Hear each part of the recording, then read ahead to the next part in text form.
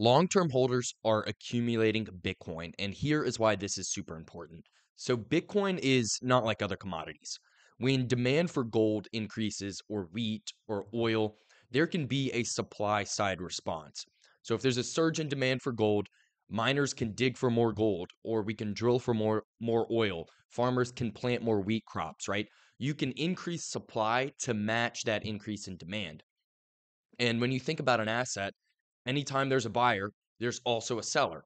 And so if demand increases, supply either has to increase or the price has to get bid up until uh, to incentivize some more supply to come into the market. And it's really this simple, right? If demand goes up and supply stays constant, the price has to go up until supply can match that increase in demand.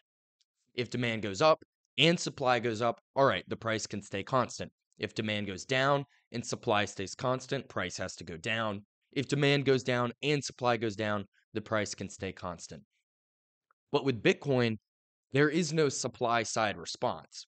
If demand for Bitcoin increases, even if you plug in more miners, the rate at which more new Bitcoin is produced does not change.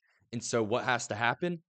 The demand has to bid the price higher to incentivize people like myself, people like you watching this, to sell their Bitcoin. You have to incentivize holders to part with their coins because there cannot be a supply side response from miners. If we look at this chart, you can see it here. So the orange line is the total circulating supply of Bitcoin. Right now, we're at about 19,800,000. This black line is the hash rate. So this is effectively how many Bitcoin miners are there or how much what is the, the total computing power of all the Bitcoin miners? As this black line goes up, that's saying, hey, more people are trying to mine Bitcoin or we're more efficient at mining Bitcoin. In theory, production of Bitcoin should go up, right? If you imagine gold, if more people start mining gold, or if we become more efficient at mining gold, you would think the supply, the rate at which we mine new gold would increase, and it would. But that's not the case for Bitcoin. This green line here is the amount of new Bitcoin that are mined every day. Every four years, it's cut in half. And even as this black line goes up, there's no change to the green line. There, you know, you're not mining more Bitcoin at a faster rate. And over time, the amount of Bitcoin that gets mined is trending towards zero. So let's go back to this chart here with the long term holder supply, because this is what we're looking at. This is what's super important. As demand for Bitcoin increases, whether that's because Bitcoin ETFs got launched and a new pool of capital can find its way into Bitcoin, or a strategic reserve gets passed and nation states start mining Bitcoin, or a pro Bitcoin president wins an election and demand increases in anticipation of a strategic Bitcoin reserve. There's lots of things that can change for Bitcoin. So, what has to happen to the price? Well, if you can't have a supply side response, then the new demand has to bid the price higher to incentivize people that are holding Bitcoin to sell that Bitcoin. And what we're looking at here in this orange line is the long term holder supply. So people that have, or addresses on chain, I should, that have held Bitcoin for at least six months or longer. This is a you know, a key statistical measure. Once a coin's been held for at least six months, the chances of it being sold drop significantly. And you can see what happens over time here in uh, Q1 of 2024 the Bitcoin price was bid higher, and some of these long term holders distributed coins into the market.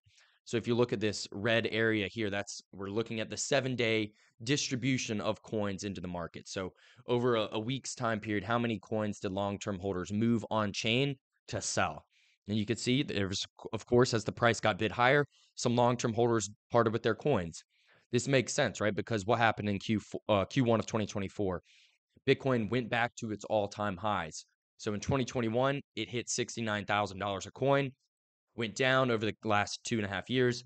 But then in 2024, we reached that price again. So it makes sense that some people who bought the top in 2021 were willing to sell coins as the price hit that measure uh, again in 2024. Then throughout the summer of 2024, we saw these long-term holders begin to reaccumulate Bitcoin. So whether, you know, maybe it's short-term holders that bought in 2024 Q1 become long-term holders because they've held those coins, or we're just seeing long-term holders be in net accumulation, uh, existing long-term holders. But then ultimately what happened in Q4? The price bid higher and long-term holders parted with their coins. So now we're looking at roughly 13 million Bitcoin belonging to long term holders. So that's 13 million coins have not moved in at least six months. But what we're seeing here again is that distribution is over. So the the long term holders that were saying, "Hey, I'll sell my coins at 80k, 85k, 90k, 95, 100." There was certainly, you know, we we saw long term holder supply drop from 14 million to 13 million. So 1 million coins were willing to be sold at 100k. But now we're seeing reaccumulation.